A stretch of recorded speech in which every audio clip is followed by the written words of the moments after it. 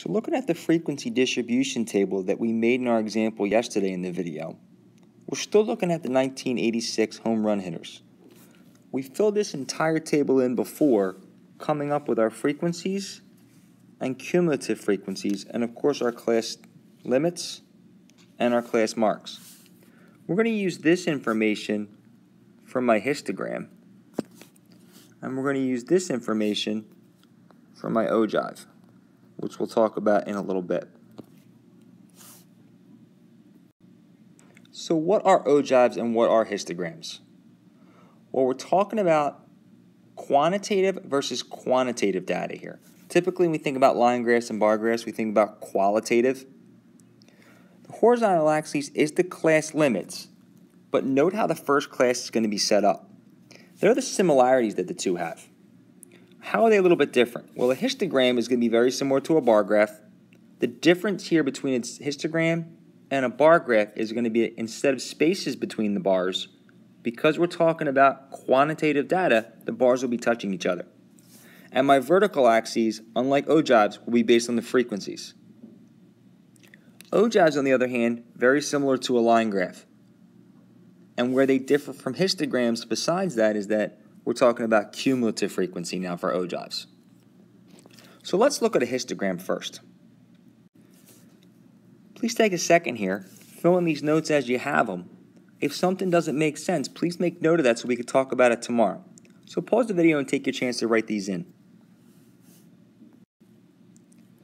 So in this particular case, I look at my class limits, and notice I said earlier that we're going to look between, we're going to use our class limits, our maxes, but I have to remember that I have to go back behind my previous class because the beginning number, the first number, is non-inclusive. So that 4 would not be included, but I wanted to go up to the 8. So I'm going to use the 8, the 12, the 16, and go all the way forward.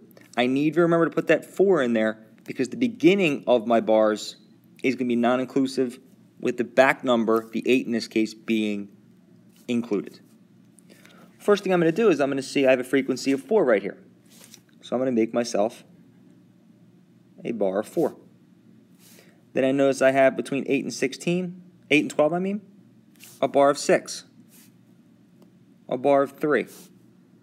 And I'm going to go ahead and set this all the way up to set my histogram up. When I go ahead and do this, the key to this is make sure that all of your bars are the same width, meaning that all the numbers across the axes on the bottom your horizontal axes are all the same distance apart. Go ahead and make your histogram and pause the video while you do that. Here's my histogram after it's all set up. The only thing missing on my histogram now is I have to have labels. So we're talking about home runs. So I have to make sure that the person knows I'm talking about home runs and the side is going to be frequency. So I have to make sure that it says frequency also. This way it's very clear to everybody what they're looking at. I also have to have some kind of a title with this, just like we did with all the other graphs. So in this case, I probably would say home run hitters from 1986. Now I have all the information there. The reason we like this is just like a bar graph, the person can tell a lot of information about this they can focus, instead of having to look at the table and look at the numbers, they can obviously tell that this class between 16 and 20, there were seven guys that hit in between 16 and 20 home runs. And the fact that this is missing, we can't just skip that part because the fact that that represents a zero, if I'm a statistician for a baseball team, that might have been a very big deal. Why is there zero there? Why are these two guys way out here? The visual pretty similar to the frequency distribution. It's just organizing, but because people like graphs, people are mostly visual, this is another option for that. It's a way to take our data that we had, we organize it with a frequency distribution, now we displayed it with a histogram. So let's go over and check out ogive for a second. And you're going to want to look back at your frequency distributions and your cumulative frequency distributions mainly for this. So now we're going to turn our attention to the ogive. If you look down the bottom here, we set this up pretty similarly. The difference is now where home runs is still my horizontal, instead of frequency, I have to have cumulative frequency because an ogive builds upon the cumulative frequency.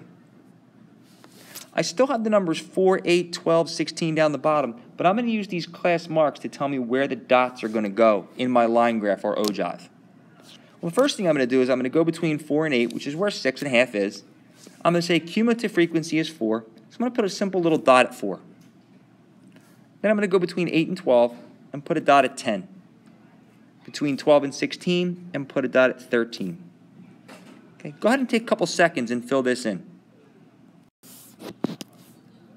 So now that you have all your marks in there, and we're focusing on cumulative frequency, and it's going to look like a line graph, all you're simply going to do is take those points and connect them with the straightest possible lines you can.